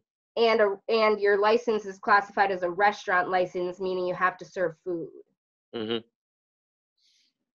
So it, it, it's, it, we haven't served food there in, I can't tell you how long. I guess nobody maybe knew that. Um, I think this is a separate issue. Um, but I would suggest, um, amending your retail license to classify it as a general on-premise, which is, which is for, if you have a general on-premise license, you are not required to sell food. Right, Um, I would suggest exploring that. to- gotcha. To protect yourself in the future, because now that we know. Yep, we'll have plenty of time, I think, and I'll, I'll, I'll research that. And I think unfortunately, as we're not going to be open for a very extended period of time, we'll have plenty of time to research and get in. If we have to get, we have to get back in front of you. When is the next meeting, Annie? Is that in September? Um, we haven't really talked about it yet, but there will probably be another meeting mid-August. Um, and then I, I, I don't know, but if you want me to keep you in the loop on when the next meeting is, I can certainly do that. Wouldn't mind, that would be great. Yeah, sure thing. All right, thank you, guys. Thanks. So we're Thank you. almost done here. So we- have a, we have a motion then for uh, whether or not there was a violation. I'm not, oh, does someone else want to make that motion? Yes, I, I'm not exactly sure how to word, word it, but I make a motion to what state that the violation did occur.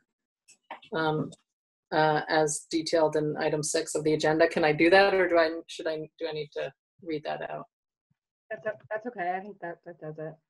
Okay, I didn't know, since we have a court reporter, I didn't know if that was fair. I'll second that motion.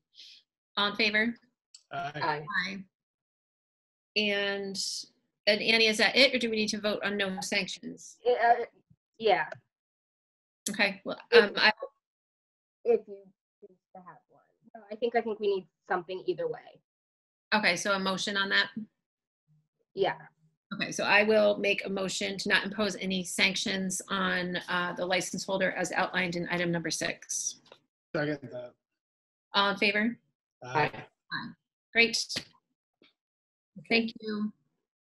Last agenda item for your patience.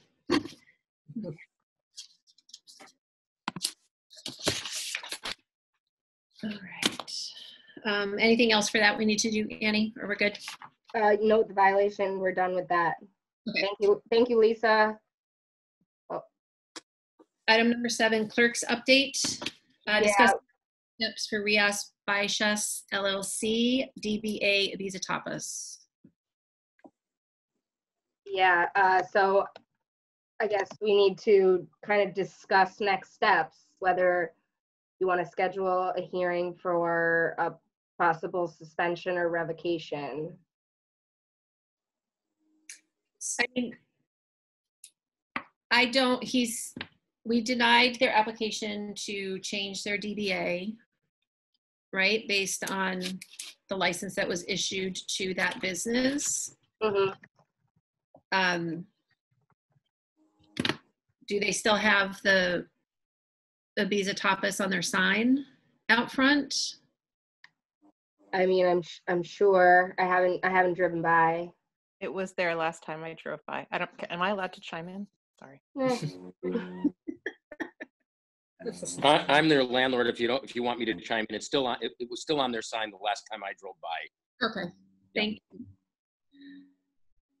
Um, I mean, it's, Jeremy's a great contribution to the business community downtown. He's doing a great business and I feel badly for him that, that this, um, loophole was found and is now in his lap. And, you know, I don't want to have a hearing to have to discuss revoking or canceling his license, but he has to continue to do business based on who the license was issued to. That's my opinion. Helen, you were with us for that conversation at the last couple of meetings that Jeremy's come to. Right. Right, and I think that's what I was stating at the last meeting, that that's why I wanted to be cautious of not granting them a new DBA, because then there would be the chance that uh, it would be challenged, the- that the license would be challenged, because it sounds like that's how it's slid through previous to either of us being on the commission. Um, And that was sort of, for better or worse, that was the way that it was, the license was able to be transferred. Um, and whether or not that was a mistake is not something we can look back and, and change, but I guess we need to be consistent as we move forward. So, you know, I, I and so at this point, their lawyer is appealing to ABCC about the DBA or is checking. I don't. uh, What's the I- latest? I'm not sure. He wanted us to send him a letter giving him the reasons for disapproval, which we did.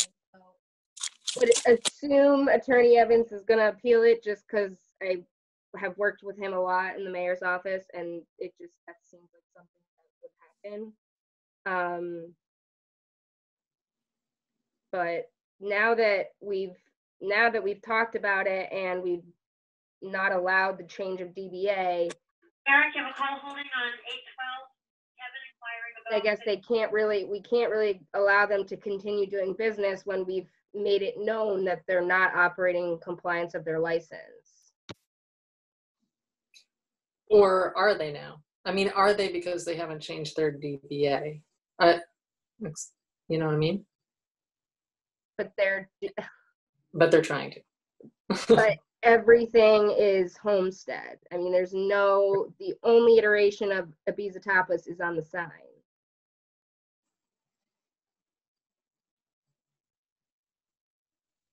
It's so unfortunate, yeah. you know? Um, yeah, I, Can you find out if they, if, if his attorney has appealed it and let them um, conditionally continue pending whatever the ABCC decides? If, I mean, I understand maybe if it was just sort of sitting in limbo indeterminately, feeling uncomfortable with that, but if they're, if we are waiting to hear from the ABCC, it feels to me like that might be a way to allow him to go forward pending a more formal resolution. That makes sense to me. Yeah, and so what is it, when he appeals it to ABCC, what, what exactly is he asking for? Is he asking for uh, the ABCC to say, yeah, you can change your DBA and you can still hold on to the license? And is that, is that a state level decision or is it whatever we've done here in Northampton? I just, Well, it's I wrote the legislation and wrote the language that's vague, that doesn't, um, on, you know, on reading it, it appears it has, you know, it has to be that DBA. So I think that the appeal is for them to decide if that's, if that's the level, the type of clarity or not. Is that right, Annie, that they, I guess it, it's like the ABCC doesn't necessarily have anything to do with it. I mean, they do, but they don't because the legislation was passed by the legislature. Right, so the So- is gonna be how we interpret it. Yeah, I just, I don't, I don't, I don't know how it's gonna shake out. I really don't. I mean, yeah. Well, I think for the, I mean, I, I don't think we have an answer to this agenda item, to this question. I like Amy's suggestion to, um, during this limbo period, have it be conditional on the ABCC's response. I don't know, but that's just kicking the can too. I'm completely aware of that. Do you have any thoughts, Brian?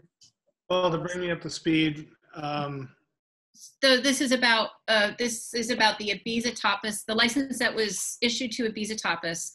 And then Ibiza turned into Ibiza Tapas Seven Strong with the owner of Ibiza Tapas holding, uh, still holding ownership in that, in the entity. He's now long gone. Ibiza Tapas Seven Strong became Ibiza Tapas Homestead. So the license is on its third iteration of a restaurant.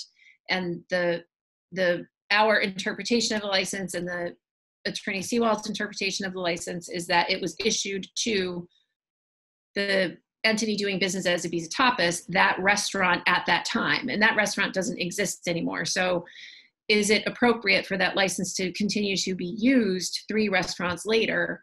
And now that restaurant, Homestead, has has um, come to us. They applied to change their DBA keep their LLC, but change their DBA to Homestead and remove the Ibiza Tapas entirely. And we declined that application based on the reading of the um, license that they were given, which the license was given to Rias Baixas LLC, LLC DBA Ibiza Tapas. right, and he's, I remember doing that. So now he's gone. I remember the transition. Can't they? So, and then the second people that owned, are they still there? They, they're the ones with the name change, so they did too. So does it go back to purchasing the license from the original holder? And then it changes in sequence? I mean, It should, the license, the nature of the license, it should have gone back to the city when the business closed.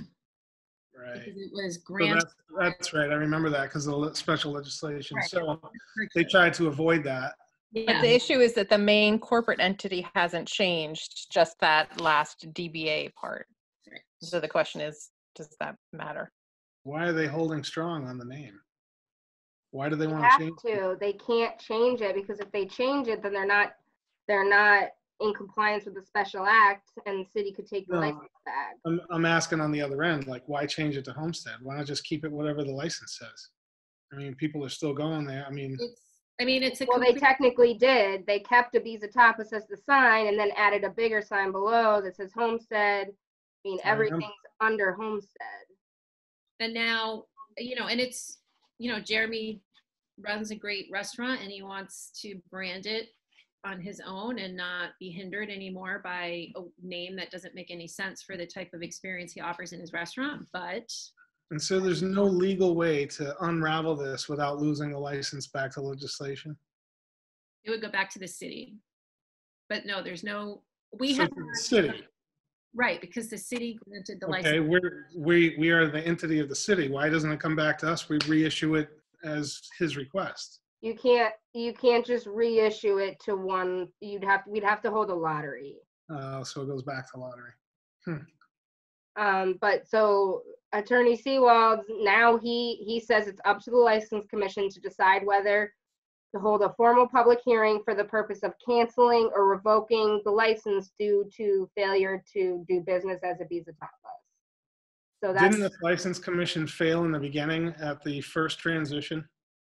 But they never came to, no one came to the license commission to transfer it. The last time that they were in front of the commission was when they got the license, the special act license to do business as Ibiza Tapas. Like no one's come. I remember the first holder being in there in front of us and stating that he wanted to retire, leave, or whatever and sell this. And I think everybody's hands were tied, you know, because it would go back to the lottery. And Right, and so instead of doing it the right way, they kind of just let it go. did it, did it all themselves. So do you let it go until, not until, um, I guess you can. I mean, the law is a law. I don't know. I was thinking, you know, because we, obviously as a commission, not we, these individuals, but the license commission made the mistake early on. Now that we legally know about it, we have to correct it, or do we turn a blind eye and it goes, I, I don't know. You tell me what the law states. So. I mean, not, I mean, he, Attorney Seewald says it's up to us, but it's not our opinion, is it? It's not, I mean, how is it up to us if we have to follow the letter of the law? If we choose not to do anything and let, and let it go the way it is, then what? We're liable? I mean, is that even a possibility? I mean, first of all, it wouldn't be fair. Um, but yeah, I mean, we wouldn't be following the, Protocol for, yeah. we wouldn't be following what's written in the special act.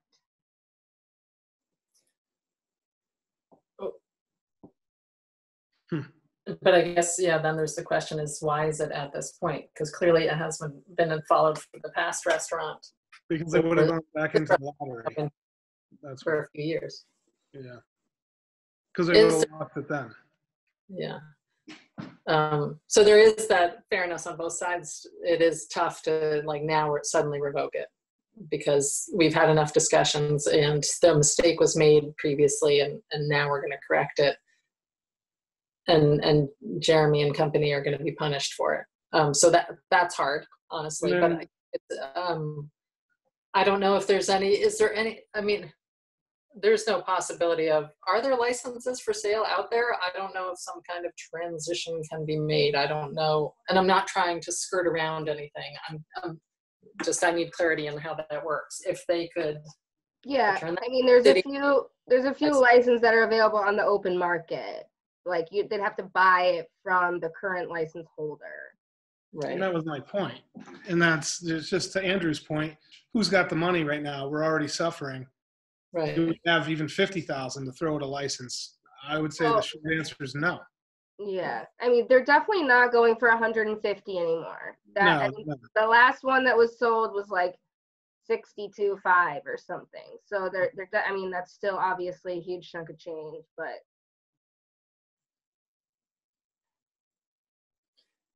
Yeah. so and if we were to go forward and revoke it um, which seems rough then it comes to the city and then there's a lottery for it is that or or it just goes into the pool of it, like it comes Yeah. back to the city. We take applications, we review them, make sure everyone, they would be granted a license, and then we choose, and then we pick randomly. mhm. Which is what happened last time for then the mayor to go and get these extra special act licenses because of a lottery. Right. And then, forgive my ignorance, and then were they purchased? Was it you have the op- option to buy this license? Is They that were or purchased, grant was just given? Given but paid face value every year. given for those, for those businesses to, to, um, make it doing business as the business that was given the license. Which Yeah. is, which is why it's kind of like, okay, you got this license for free. Yeah, So that's where it's like if if they paid an arm and a leg, we Would it matter if they did in fact pay an arm and a leg when Homestead bought out uh, well, Seven he shouldn't have bought it out. I mean, it can't be. Yeah. So can I ask a question? Sorry to interrupt, but um, why can't they keep the name originally and then add a DBA to change it? I don't understand Because because, the legislation is written as that it was granted to the LLC DBA Ibiza Tapas. Like it's written specifically in the language. Yeah. If they just did Rias Baixas LLC with no DBA, it would be fine. They would have, they would ha- still have to operate as that, that LLC, but could have whatever DBA they want. can't they just leave it that way and then just hang whatever sign they want with small writing that puts on there the LLC? They've already Well, done that. That's how they're operating now, because the Right. Tapas is up there small, and then Homestead is underneath it, and it's a bigger sign. And then what happens if there's, if this happens Transit. And there's a, new- there's new restaurant ownership and a whole new restaurant concept? And it's, yeah, it's just, If there's a new restaurant and they want to do it, then I think when this, these people, because the, here's, here's the thing, all right? Uh, The license commission failed on the first part when they should have done this. So the next time that it comes up for sale, if it does, then I, then it goes back to lottery. what do you mean the license commission failed? I guess I'm not understanding that. well, we failed, we failed, I was, I think I was, I can guarantee I was on the board at that time. Uh, Bill was the chair and, um, I, I'm pretty sure we should have never allowed this to happen right from the, the get-go. We should have said, well, listen, if you're giving this up, it has to go back to the lottery and you can take your chance on getting the license. And that would have been the steadfast thing or, you know, the immediate thing, because that's where we're at now. Correct me if They I'm wrong. never came to the license commission to request a transfer. They just- did. When it was, when it was the original Ibiza Tapas, Juan and, I just remember seeing it in the, reading about it in the paper. Yeah, the whole seven strong Right. So that was that first time, but this, this second time, so there's, there's a, one owner who's stayed from Seven Strong to Homestead. And he's, I, I think he's a silent partner at this point. But they're, they didn't transfer the license, they changed their manager. So you're saying that they did come before the license commission? I They were, they were both standing in front of us, in in front, in front of me. I was there. Okay i think there should be minutes of hundred percent. I'm reading a Yeah, there Gazette definitely article should be now minutes. about it. But we might be talking about different times, Annie. I'm talking about the first time this happened, when the license commission allowed Ibiza Tapas to become Ibiza Tapas Seven Strong. Okay, I, I guess I didn't know that. Yeah, so that, that occurred. There was an acknowledgement by the commission that it was being done on a hair, that it was kind of like, you know, well, well, let's see how the, the, how it shakes out or something like that. And then, and I could almost see how the, that decision was made because Juan Suarez was still owner of it. So the person who, the person who was operating the business, who was who given the lottery license was still holding ownership. He's completely gone and the transfer to Homestead was just administrative, um, transfer, like change of manager or something like that when that happens. Yeah. I mean, just, I, Sierra Grill has one of those license, the same license under that special act. He Yeah. has come to me time and time again, wanting to know if he can transfer it, if he can sell it, what he can do, because he wants to get rid of it. And it's like, he can't, but Homestead, a few block, or a few storefronts down, can. So it just, Yeah. it just doesn't seem right. It's It's not- hundred percent not right. It's not. But That's and it I'm sucks. It We sucks. made a mistake as a commission, but now, are we still dealing with the same gentleman that took it from the original owner? Or is there a third party in there? It's Benson has been there and he's still on the LLC. Um, but Jeremy is the license manager and he's like the chef for home. The chef owner portion of it. We're still dealing with the same people from the original when they cha- when they, they called it Seven Strong. They're only on paper. Uh, they're gone. So this is the third transition. on paper, but they're not, um, they're not managers on record. They're, I think maybe he's, I'd have to look up the, the card on the Secretary of State website, but Benson Hyde is, still holds ownership, but is not involved in operations, from what I can tell. The law states you have to be involved in operations to hold the license. N- n- No, no, you can just be on the LLC. I mean, if you were, if you were the license manager, the manager of record, you have to be on the premises for a certain amount of hours. You, So let me ask you this. So we've already made the mistake, okay? And when I say we, just the, the, the commission prior to Natasha and, and Helen. So we've made the mistake, we've granted that, um, not knowing or whatever the deal is, but it's still kind of the same people. So is this still just a minor, uh, granting? In my opinion, um, And if there is another transition as a sale in the first, then it goes back as the lottery. I mean, do we just push it through because we've already acknowledged and we made the mistake and they have it and we've done it once? So now we have to do it again, but we can't allow anybody new to do it. And if they lose that license or they want to be done with that and transfer the restaurant to someone else, well, you can certainly transfer your restaurant and sell your restaurant, but you lose your license, it goes back to the lottery. And hopefully you can get it back. Or you have to buy a new, you know, a- a- one of available on the market. So is that legal? Is that um, something that can be pushed through? So did Seewald leave it up to us as our interpretation, our opinion to do something like that? Because I mean, I would hate to put these guys out of business for that. We've we made the mistake. It's not unfair to him. It's unfair to O'Brien.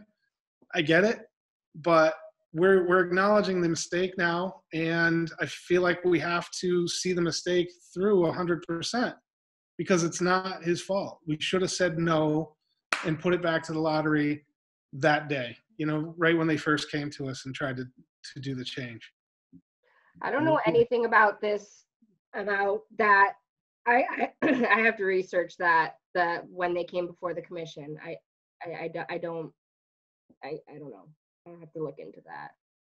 So barring that information, my my true question and all that rambling is do we continue the to allow the mistake to live its its way out? You know what I mean? Until say they want to sell that restaurant and then everything gets reset to normal. So do we just yeah, there it is, go for it, you know. Here's your new name. I don't know because we already made that mistake. Uh, And will the ABCC kick it out if you try to do something like that? I honestly don't think that the, the mistake you're talking of really holds any weight here. Right. So, well, I'm just trying to do, you know, like when Natasha was saying that it's a sad thing that, you know, these people are going to be forced to give up their license. You know, for what? It wasn't their fault. You know what I mean?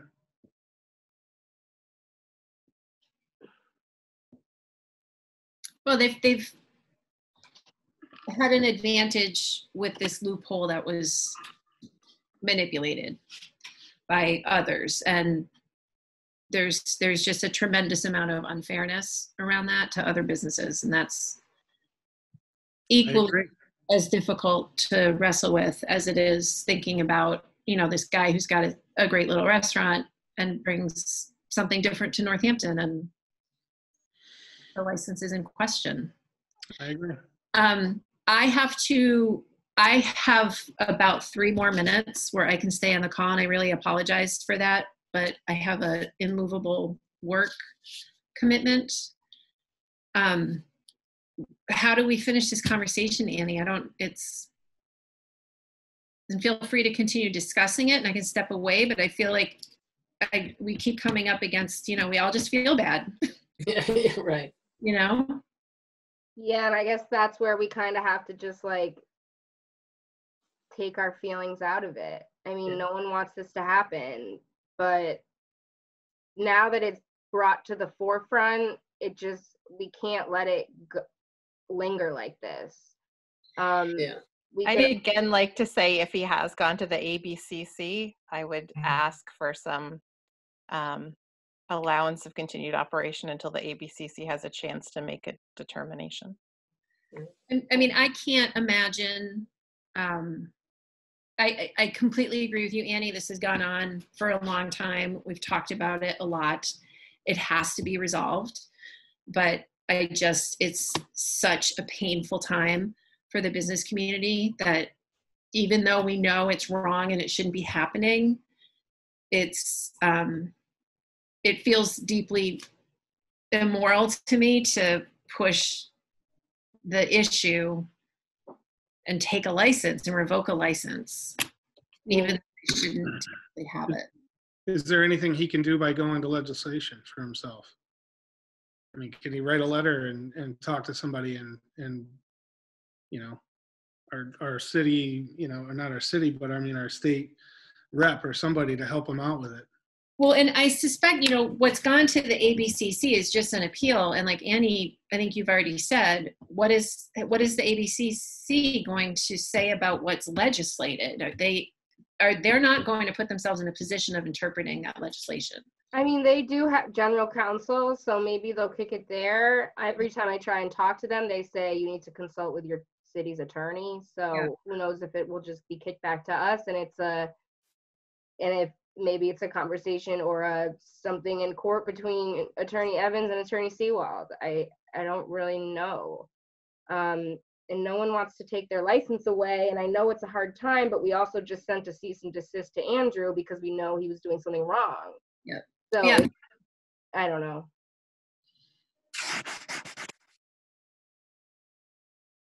Well, and Homestead could have, um, they could, they could apply for wine and malt.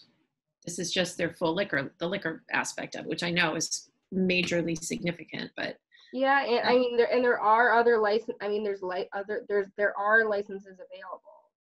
Um, I mean, if what we've learned- they cost an arm and a leg, but I mean, we've learned a lot about cordials today.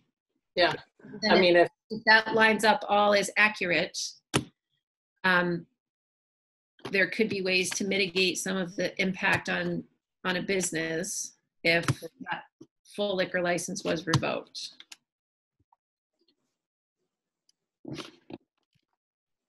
Uh, yeah.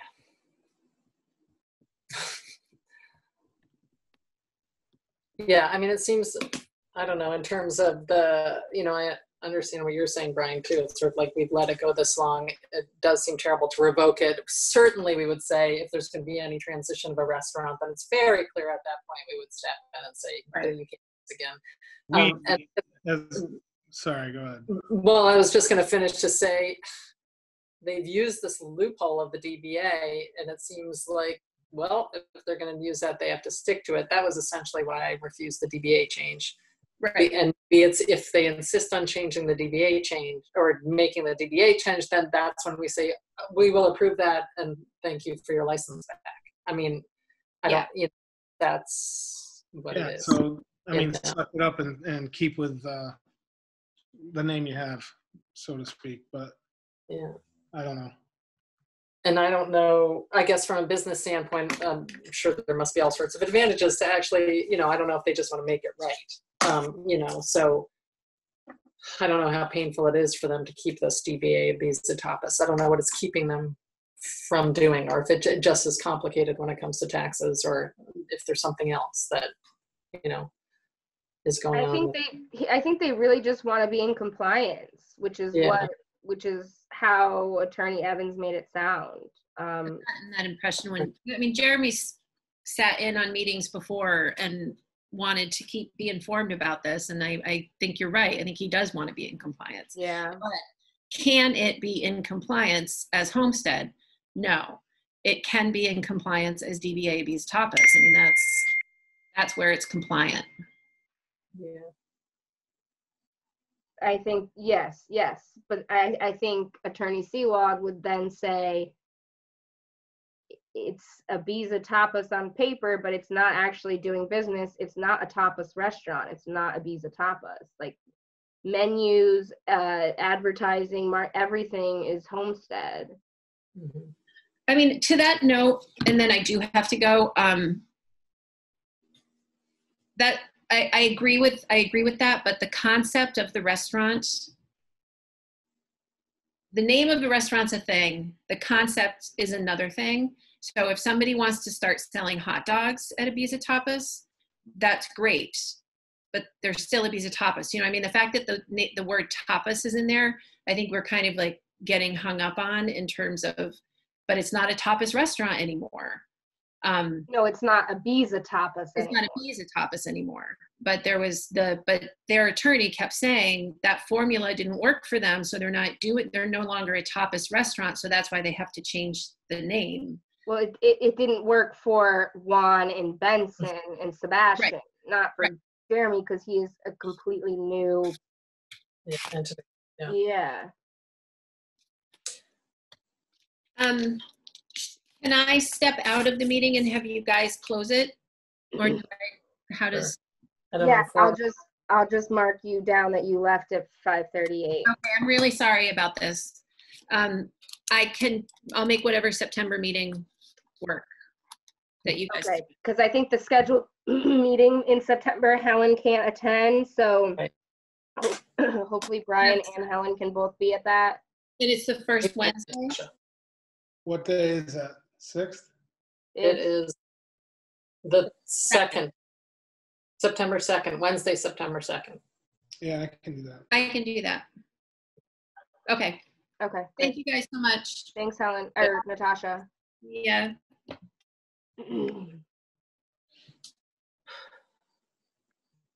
Yeah, I, I'm just at a loss of how we finalize this, I really am. Um, just because it's been lingering, I guess, since, you know, I keep hearing about it since I've been on the commission, but um, I mean, foolishness.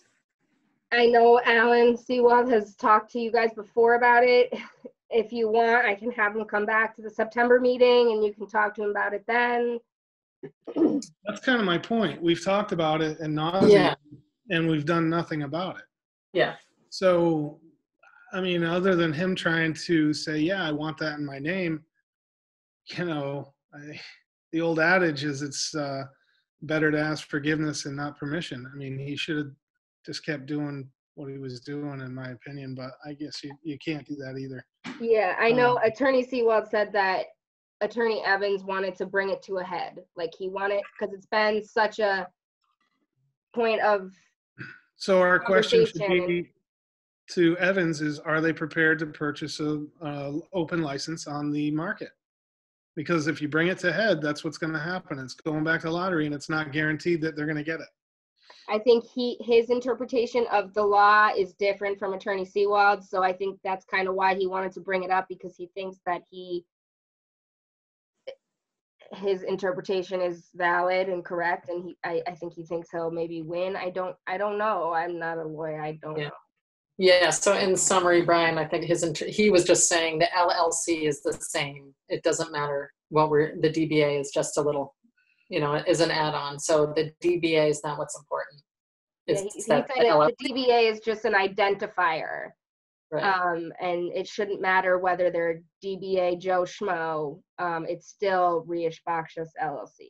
You're saying, so for tax, like you said, otherwise business reasons, tax reasons, so on and so forth, it'd be beneficial to put it in their own name. I agree. I'm guessing. Yeah. And then it's just that interpretation, the way the, the license reads, it says the whole thing with the DBA, and he's saying the DBA piece of that is not important. It's just, as long as we're keeping the LLC, we could be called anything. You know, and, and we all are aware of what happened, that, that it was this workaround, but you actually are two new restaurants, you know, there's been two new restaurants that are disguising themselves as the same restaurant that got the original license. Um, so, um, yeah. Yeah. So I don't know where that leaves us. I mean, yeah, another discussion with Alan doesn't.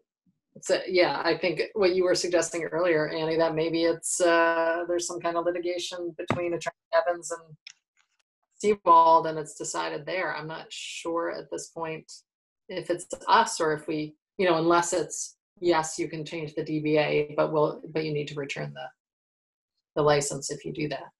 hmm It's it's just confusing about where the license commission is. You know what our role is, as Brian has been asking. You know. I think, And I mean, that- go uh, ahead, Brian. no, no. I mean, just ad libbing, it brings me back to, you know, the rumors of, of, you know, Massachusetts just going to open it up like Florida and every other state in the uh, United States to just grant as many damn licenses as businesses want to have. You know what I mean? As a revenue maker. I mean, I don't understand. I guess it's per capita, but yeah, it just seems foolish.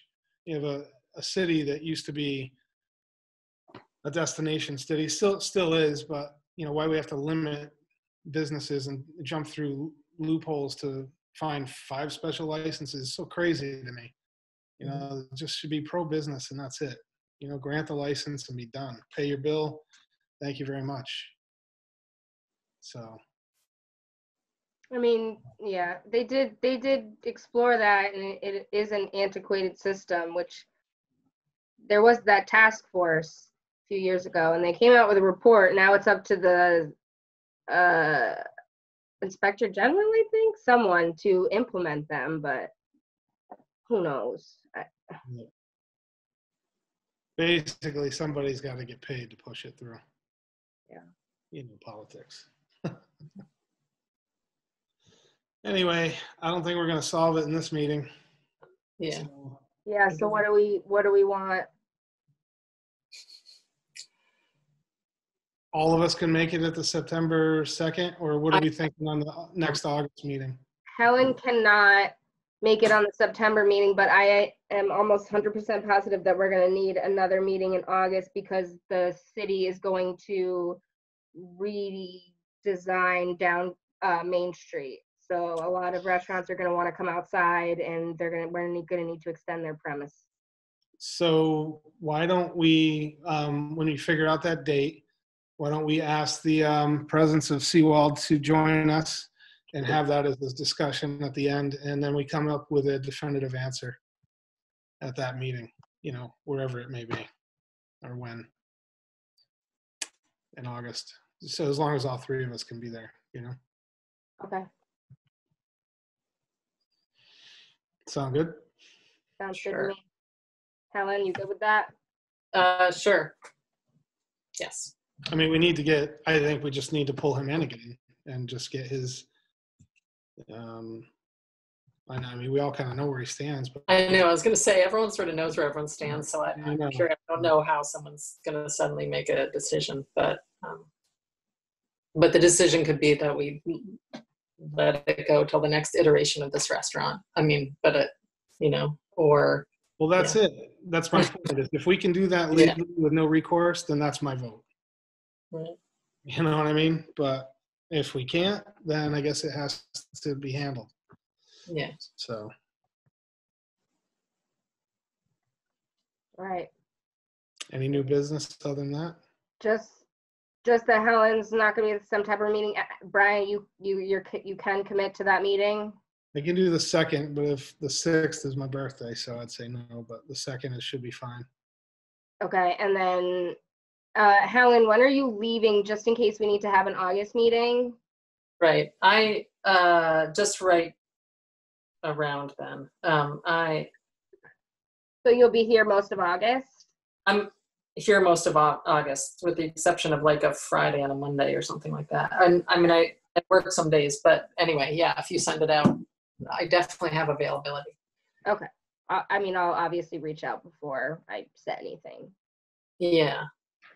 I do, uh, I didn't want to bring it up while we were speaking with Andrew and even though I kind of wanted to ask Amy, I'm, I'm really, this whole cordial license thing has thrown me for a loop because like I say, I look at that $12 cocktails and I'm like, oh my goodness, why doesn't, if this is, if he's doing this above board, why doesn't everyone in the city just get the wine and malt license? It's so much cheaper and then throw this in, my God, and, and make $12 cocktails. So, so my question is, I guess, other cities, do they have an extra charge for cordial licenses or that's really how it is? It's just rolled into wine and malt always? Yeah, I, for some reason I can't I can't find or remember whether or not we talked about an increase of fee. I remember we imposed a fee on pouring permits.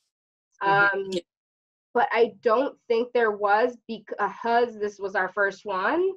Um, Yeah. but it does seem like there definitely should be Yeah. an increased fee. And is that an easy thing to research, like what they do Yeah, yeah, in yeah. Boston? I can I can look into that. Yeah. Yeah, because I almost wanted to ask Amy, and then I thought that would be inappropriate to say, to you, what did Myers and Chang pay for their cordial license? You know, I mean, because my goodness, I mean, kudos to him if he figured this out. You know, that because, yeah, I'm just shocked. Yeah, I have to say. Yeah. that you um, yeah, I I will definitely research that. Yeah. Um, yeah, sorry, go ahead. Yeah, I don't know. Do you have any thoughts on that, Brian, or or is that enough of that? Just that I'm just amazed at what you can serve with a cordials license. I guess I I had no idea. that you to could be.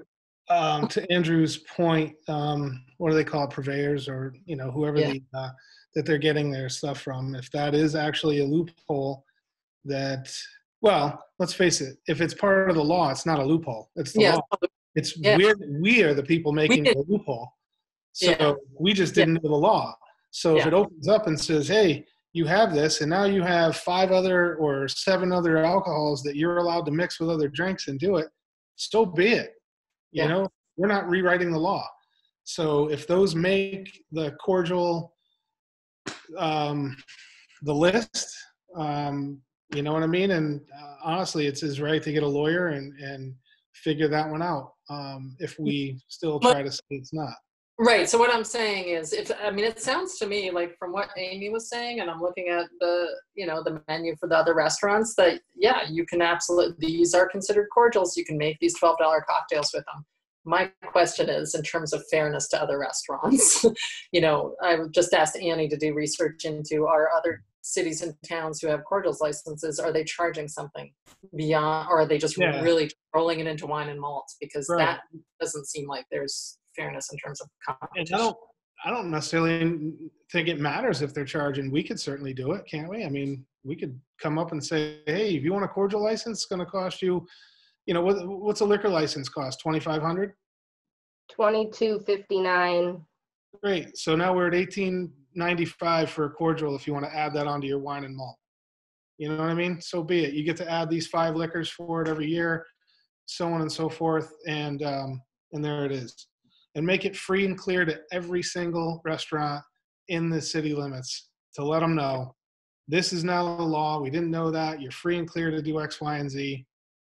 You know, and then there's still going to people. There's still be people to buy a liquor license. Now, on the other hand, it's going to really, really upset the people that have liquor licenses. Right. Did pay 150,000 back in the day. Yeah.